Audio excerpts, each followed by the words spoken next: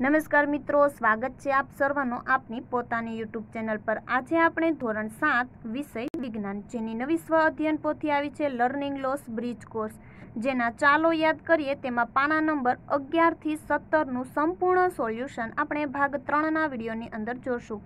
આપણી આ ચેનલ પર ધોરણ સાતના તમામ વિષયના બધા જ પાઠની વીડિયો સોલ્યુશનની લિંક તમને નીચે ડિસ્ક્રિપ્શન બોક્સની અંદર આપેલી છે. જો વિદ્યાર્થી મિત્રો તમે અમારા વોટ્સઅપ ગ્રુપની અંદર જોડાવા ઈચ્છતા હોય, તો અમારા વોટ્સઅપ ગ્રુપની લિંક પણ તમને નીચે ડિસ્ક્રિપ્શન બોક્સની અંદર આપેલી છે. જેની મદદથી તમે અમારા વોટ્સઅપ ગ્રુપમાં જોડાઈ શકશો અને જેમાં તમને તમામ પાઠની લિંક અને સોલ્યુશન પણ મળી રહેશે. તો ચાલો આપણે જોઈએ, ચાલો યાદ કરીએ. જોઈએ આપણે મહાવરો, પાના નંબર અગિયાર પરનો. પ્રશ્ન નંબર એક, નીચેની આકૃતિમાં નામ નિર્દેશન કરો. નંબર એક, અહીં તમને એક આકૃતિ આપેલી છે. તેની અંદર તમારે નામ નિર્દેશન કરવાનું છે કે વજ્રપત્ર, અંડકોશિક, પુષ્પદળ એટલે કે દલપત્ર, પુંકેસર અને શ્રીકેસર ત્યાર પછી બીજી આકૃતિ આપેલી છે. તેની અંદર પણ તમારે નામ નિર્દેશન કરવાનું છે. પરાગાસન, પરાગવાહિની, બીજાશય. બીજી આકૃતિમાં પરાગાશય અને તંતુ. ત્યાર પછી પ્રશ્ન નંબર બે કે નીચે આપેલા ફ્લો ચાર્ટમાં ખાલી જગ્યાઓ પૂરો. અહીં તમારે એક ફ્લો ચાર્ટ આપેલો છે, તેની અંદર તમારે ખાલી જગ્યા પૂરવાની છે. ત્યાર પછી જોઈએ મહાવરો, પાના નંબર તેર પરનો. તો નંબર એક, તમે અને તમારા મિત્રો ભેગા થઈને કાગળનું વિમાન બનાવો અને હરીફાઈ યોજો કે કોનું વિમાન દૂર સુધી જાય છે. વિમાનનું સૌથી દૂર જવાનું કારણ શોધી તેની પદ્ધતિ વર્ણવો. નંબર બે કે તમારી આસપાસ મળી આવતી વસ્તુઓમાંથી પિનહોલ કેમેરાની રચના કરો જે તમે અહીં જોઈ શકો છો. નંબર ત્રણ, પ્રકાશના પરાવર્તનના મોડલનું નિર્માણ કરો જે પણ તમને અહીં આપેલું છે. ત્યાર પછી નંબર ચાર ઉપર છે, પેરિસ્કોપની રચના કરો, તે પણ તમને અહીં આપેલી છે. ત્યાર પછી નંબર પાંચ, કે સાદા વિદ્યુત પરિપથની રચના કરો, તે પણ તમને અહીં આપેલી છે કે સાદા વિદ્યુત પરિપથ. નંબર છ ઉપર છે, સાદી ટોર્ચની રચના કરો. ત્યાર પછી નંબર સાત ઉપર છે કે સ્વિચ સાથે વિદ્યુત પરિપથની રચના કરો. ત્યાર પછી આગળનો મહાવરો જોઈએ પાના નંબર પંદર પરનો. નીચે આપેલા વિકલ્પો પૈકી યોગ્ય વિકલ્પ પસંદ કરો. નંબર એક, તમે તમારા રોજિંદા જીવનમાં કેવા પ્રકારનો આહાર લેશો? તો તમામ પોષક તત્વો ધરાવતો સમતોલ આહાર.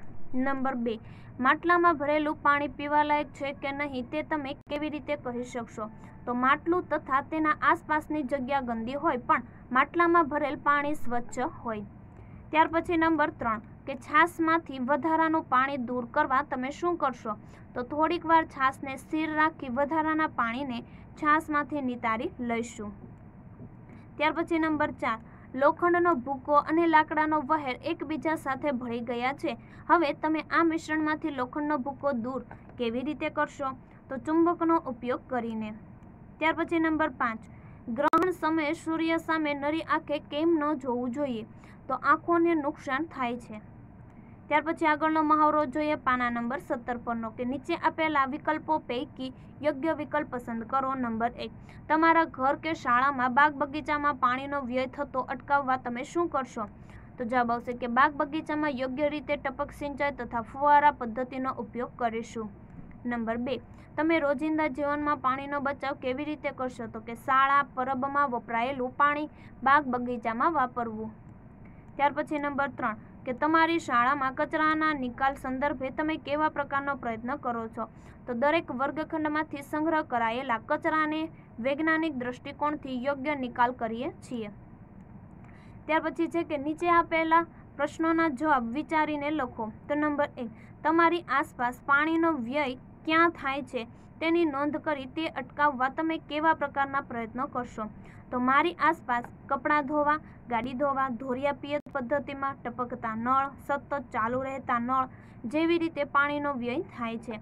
પાણીના બગાડને અટકાવવા કપડાં ધોયેલ પાણીને ફરી બીજી વાર વાપરીને તેમજ ગાડી સાફ કરવા માટે ઉપયોગ કરીને તેમજ ધોરિયા પિયતને બદલે ટપક સિંચાઈ પદ્ધતિનો ઉપયોગ કરીને ટપકતા નળ રિપેરિંગ અથવા તો બદલીને બગાડ અટકાવી શકાય છે. નંબર બે, તમારી શાળા કે ઘરમાં પાણીનો પુનઃ ઉપયોગ ક્યાં અને કેવી રીતે કરવામાં આવે છે તેની નોંધ કરો. તો અમારી શાળામાં કે ઘરમાં વાસણ સાફ કરેલ પાણીને બાગ બગીચામાં છોડને ફરીથી ઉપયોગમાં લઈએ છીએ તેમજ ઘરે કપડાં ધોયેલ પાણીને પાર્કિંગ સાફ કરવા અને બાથરૂમ સાફ કરવામાં પુનઃ ઉપયોગ કરવામાં આવે છે. નંબર ત્રણ, તમારા ઘરે ઉત્પન્ન થયેલા ભીના કચરા અને સૂકા કચરાનું વ્યવસ્થાપન તમે કઈ રીતે કરો છો? તો અમારા ઘરે ઉત્પન્ન થયેલા કચરાના નિકાલ માટે અમે બે અલગ અલગ કચરાપેટી રાખીએ છીએ, જેમાં ભીનો કચરો નીકળે તેને ભીનાવાળી કચરાપેટીમાં જ્યારે સૂકા કચરાને સૂકાવાળી કચરાપેટીમાં નાખીએ છીએ.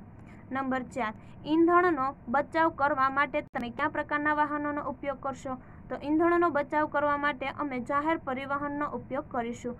નહીં કે પોતાના પ્રાઇવેટ વાહનોનો. તેમજ જો પ્રાઇવેટ વાહનો વાપરીએ, તો બાયોફ્લ્યુથી ચાલતા સીએનજી કે ઇલેક્ટ્રિકથી ચાલતા વાહનો વાપરીશું. નંબર પાંચ, જંગલો બચાવવા માટે આપણે શું શું કરી શકીએ? તો જંગલો બચાવવા આપણે વૃક્ષો નહીં કાપીએ. જંગલો બચાવવા આપણે લાકડાથી ચાલતા ચૂલા પર રસોઈ નહીં બનાવીએ. જંગલ બચાવવા જ્યાં ત્યાં વધારાના બાંધકામ નહીં કરીએ, જંગલ બચાવવા નવા નવા વૃક્ષનું વાવેતર કરીશું, જંગલ બચાવવા જનજાગૃતિ અભિયાન ચલાવીશું, જંગલ બચાવવા બાળકોને જંગલ વિશેની સમજ આપીશું. તો આ વિડીયોની લિંક તમે તમારા મિત્રો અને દોસ્તોને જરૂરથી શેર કરજો. ફરી મળીશું આપણે બીજી સ્વ અધ્યયન પોથીના સોલ્યુશનના વીડિયો સાથે. જો વિદ્યાર્થી મિત્રો તમને આ વીડિયો પસંદ આવ્યો હોય તો લાઇક અને શેર કરવાનું ભૂલશો નહીં.